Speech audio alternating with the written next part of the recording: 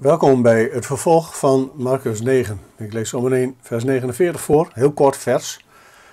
Uh, ik zeg eerst even een paar dingen vooraf. Jezus heeft net een, een drietal drastische voorbeelden genoemd van amputatie van een hand, een oog, een voet, om te voorkomen dat je je vergrijpt aan kinderen, aan zwakken, aan armen, aan mensen die uh, onderaan de ladder staan. Uh, om te voorkomen dat je op verkeerde routes komt. Dat je oog, je hand, je voet je tot zonde brengt. Gelukkig is de mens die er nee tegen zegt, tegen het kwaad. Gelukkig is de mens die Jezus volgt. Maar hij is er nog niet klaar mee. Er komt nog een boodschap voor de leerlingen en voor ons. Marcus 9, vers 49. Buitengewoon korte tekst, maar wel met een heleboel vraagtekens. Jezus zegt tegen zijn leerlingen en tegen ons: Iedereen moet met vuur gezouten worden. Nou, dat is wel een rare tekst. Want vuur zout niet, maakt iets niet zout. En zout brandt niet. Nou ja, je kunt het wel eh, op een of andere manier aan de brand krijgen natuurlijk, maar het is niet, geen brandstof van zichzelf. Niet echt. En wat, wat, betekent dat dan dat iedereen met vuur gezouten moet worden?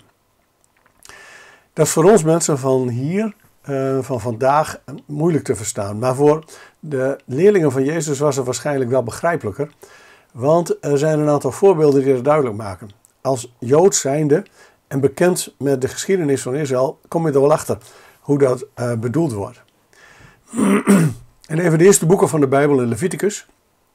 Een boek daar onder andere over de wetgeving, dat de wetgeving van Israël weergeeft. In hoofdstuk 2, vers 13, daar vind je een aantal spelregels met betrekking tot de offers die je moet brengen. En dit, deze tekst spreekt over de graanoffers. Dat wil zeggen dat je van de oost van je land, van het koren, van de gers bijvoorbeeld, het eerste tiende deel naar de tempel bracht, of naar het heiligdom bracht, om daar met vuur verbrand te worden. Want het was een offer aan God uit dankbaarheid voor het feit dat hij de oost geschonken heeft. Het eerste tiende deel. Niet het laatste, maar dat is altijd op. Nee, het eerste tiende deel, maar dat is dan de beschikking. Maar je moet het met zout mengen, zegt Leviticus 2, vers 13. Je moet er zout doorheen mengen. En dan staat er achteraan, zoals met alle offers. Alle offers die je bij God brengt, moet je met zout vermengen. Daar vind je dus die combinatie van vuur en zout. Maar waarom is dat zo? nou zegt Leviticus 2, dat zout, dat is een teken van het verbond tussen God en het volk Israël. Het is een verbondsteken. Er zijn nog andere verbondstekens, zoals de besnijdenis van alle jongetjes bijvoorbeeld. Maar dit is een algemeen verbondsteken. Dit geldt voor mannen en voor vrouwen. Je moet je offers met zout bereiden voordat je ze verbrandt op het vuur.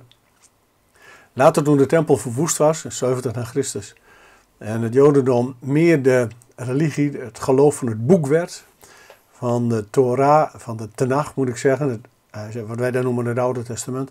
Toen kwamen er gebruiken eh, op die daaraan herinneren. Onder andere de rabbinale opdracht, aanwijzing, om eh, de tafel thuis, de eettafel, te beschouwen als het altaar van het heiligdom. En de praktische consequentie daarvan is dat je als Jood ook een klein beetje zout strooit over je brood. Want daarmee mm, offer je het als het ware aan God. En daarmee zeg je nog eens te meer. Ik ben mij ervan bewust dat ik bij een volk hoor waarmee, waarmee God een uh, verbond gesloten heeft. Met heel het volk. er is nog een voorbeeld waarin je dat zout tegenkomt. Dat is de bereiding van het reukwerk in het heilige van het heiligdom. Dat is uh, de ene heiligste plaats in de tempel, ook in de tabernakel eerder. Daar vind je een kleiner altaar en daar werd uitsluitend reukwerk op geofferd. Een soort uh, samenstelling van uh, allerlei vormen van reukwerk die verbrand werden op dat offer. En daar hoorde zout ook bij. Zout werd ook daar gebruikt om aan God te offeren. In beide gevallen verbrand. Dus de combinatie van vuur en zout is waarschijnlijk voor de leerlingen van Jezus niet zo vreemd geweest. Die snappen dat. Dit gaat over het offer. Dit gaat over offeren. en dan komt onmiddellijk komen onmiddellijk de contouren van Jezus' eigen offer tevoorschijn. Zeker nu we als het ware terug kunnen lezen wat er gebeurd is kunnen we het nu beter begrijpen nog dan de leerlingen toen, denk ik. Want Jezus heeft zichzelf geofferd als een volmaakt offer. Zonder enige, enige fout, zonder zonde, zonder duisternis. Een volmaakt offer. Om te gelden voor iedereen die zich daaraan wil verbinden. Als het nodig is voor de hele mensheid. Voor iedereen uit de mensheid die bereid is om het te aanvaarden. Een offer dat verzoening met God brengt. Dat een einde aan de zonde en aan het kwaad maakt. Dat de duisternis en de smerigheid van je leven wegneemt. De dood in, zodat het weg is. Een offer dat formidabel is en uniek in de menselijke geschiedenis. Leerlingen van Jezus die bij hem stage lopen, zouden kunnen bedenken dat hun eigen leven ook dat op een of andere manier dus tegen het lijf loopt. Dat kan haast niet anders. De meeste uitleggers zeggen dan ook, deze tekst gaat over uh, het martelaarschap, over de offers die je als volgeling van Jezus brengt, uit liefde voor Jezus. En daar zijn heel veel voorbeelden van. voorbeelden uh, in, bij de jonge kerk, in de eerste eeuwen van de kerkgeschiedenis, talloze gruwelijke voorbeelden van uh, martelingen van christenen, waarbij het al, al voldoende was als iemand zei tegen een ander: Ik ben een christen. Daarmee kon je al op de brandstapel belanden, of in de arena om te vechten met de wilde dieren, of tegen gladiatoren, of om gedood te worden, om geofferd te worden, ondersteboven gekruisigd te worden. Je kunt zo gek niet bedenken of wat voor martelpraktijken er allemaal wat niet op losgelaten werden. En ze ondergingen het. Er zijn talloze voorbeelden van martelaren die het ondergingen, uit liefde voor Jezus. Omdat ze snapten dat hun leven met vuur en zout geheiligd werd. Overigens, het is niet alleen in de verre geschiedenis, het is ook in, in de geschiedenis van vandaag. Nog steeds is er christenvervolging. Er zijn talloze landen in deze wereld waar het niet veilig is om jezelf een christen te noemen. Waar gemeenten in het geheim moeten samenkomen, soms in de vorm van een theekrans, omdat het wel mag. Uh, waarbij christenen uh, zich verstoppen in de bossen om samen te komen om hun, hun, hun lofprijzing te zingen en naar Gods woord te luisteren. Er zijn talloze voorbeelden van mensen die om, om Christus wil hun baan verliezen, hun huis verliezen, hun familie verliezen, hun gezondheid kwijtraken en uiteindelijk vaak ook nog hun leven kwijtraken. Martelaren in navolging van Jezus, die zichzelf geofferd heeft en dat uit vrije wil en volkomen toegewijd heeft gedaan. En in zekere zin kom je het in ons land ook tegen. Uh, om zoveel tijd loop ik tegen uh, ja, het belachelijk maken van christenen aan, het belachelijk maken van het christelijk geloof aan.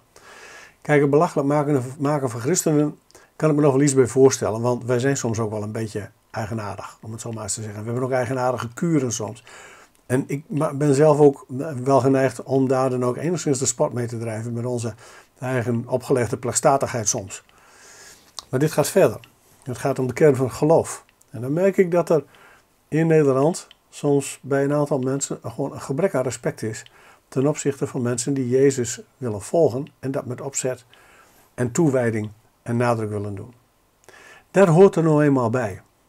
Als je Jezus volgt, dan weet je dat deze zin ook over je leven waar wordt. Dat sommigen achter je rug om lachen, dat sommigen je een baan misgunnen, dat sommigen niet met je op stap willen, geen buren met je willen zijn, dat sommigen bij je uit de buurt willen blijven en kwaad over je spreken. Iedereen moet met vuur gezouten worden. Het proces gaat nog steeds door. Dit is de route van de heiliging. Het is een omgekeerde route van machtsmisbruik, geweld, seksueel misbruik, bedrog, crimineel gedrag. Het is de tegenovergestelde route. Het is de weg van Jezus. De weg van de navolging.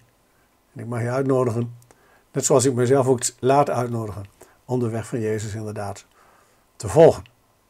Tot zover. Mogelijk tot ziens. In elk geval, God zegen toegewenst.